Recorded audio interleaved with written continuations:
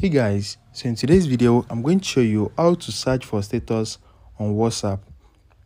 So with the new update of whatsapp they have removed the search button from the status. So if you head over to status right here you are not going to see the option to search for status. So i'm going to show you best alternative way to search for status. So let's say i want to search for this person's status. So guys can you see this one?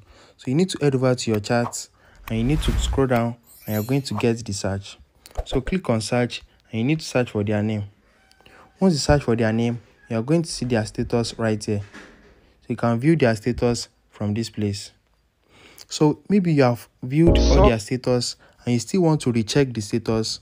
Just click on their chat click on their profile.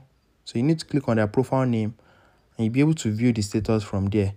So click on it again and you're going to see view status so that's it. If you have viewed all their status before so you can just search for it from this place. So let's say you don't want to open their chat. Let me show you another way. Just swipe left on their chat. Click on these three dots and you're going to see contact info. So by doing this it's not going to open their chat. So let me show you. So let's say i don't want to view this chat. You can just swipe left. Click on this more. Click on contact info. So i think i have not saved their contacts before that's why it is not showing. So maybe that's why i'm not seeing their status. Let's try with this one. Swipe left. Click on more. Click on contact info. And can you see this their profile? So if they have any status i'll be able to view it from this place. And i can close this back without viewing their chats.